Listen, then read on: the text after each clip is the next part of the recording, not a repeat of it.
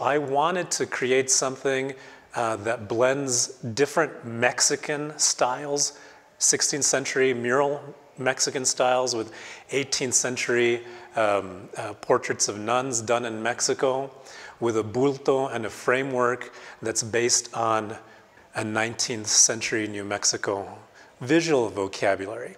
A lot of the imagery on the retablo, the bulto of San Hipólito, the images of the portraits of nuns, and then the um, little mural excerpts on the bottom of bees and hummingbirds and flowers.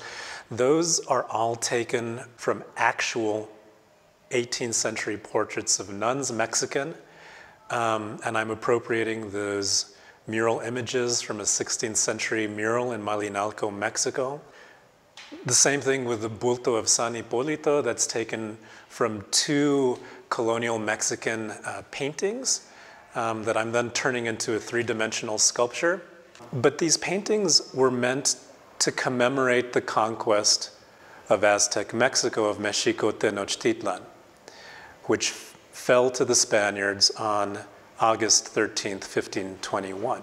This is the same day that San Hipólito is celebrated in the Christian calendar. I wanted to call attention to the image of San Hipólito as something that we should be looking at as a way that colonial Mexicans acknowledged the conquest. It doesn't show um, the defeat of Cuauhtemoc to Cortez. It doesn't show any violence whatsoever.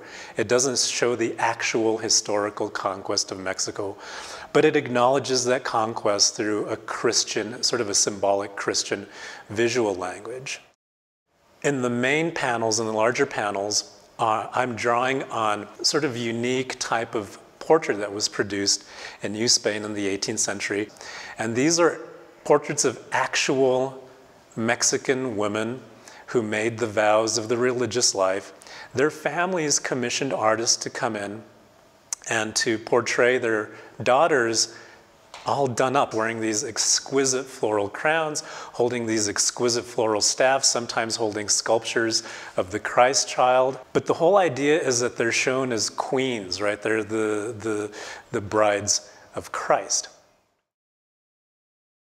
I'm painting an image of an eagle standing on a cactus that's growing out of a rock. This is the Aztec symbol for the city of Mexico Tenochtitlan, which was the capital of Aztec Mexico.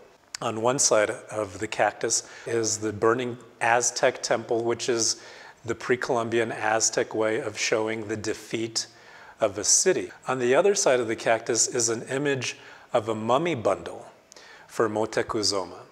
Motecuzoma was one of the last Aztec leaders um, who died during the conquest. You know, I, I guess the message that I wanted to send to viewers of this piece is that as destructive and as horrible as the conquest was for many indigenous groups, um, they survived and they, more than survived, they um, helped create a brand new culture, a brand new way of thinking about the world that again has been invisible to modern viewers for such a long time.